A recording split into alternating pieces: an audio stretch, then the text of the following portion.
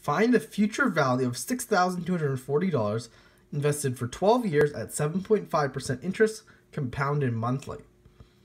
So here's the formula for compound interest, the future value of some money invested in compound interest, which is equal to the, the future value is equal to the principal, that's the amount of money you invested originally, times 1 plus i, which is the interest rate, over n, which is the number of compounding periods per year, all raised to the nt power, where t is the time in years.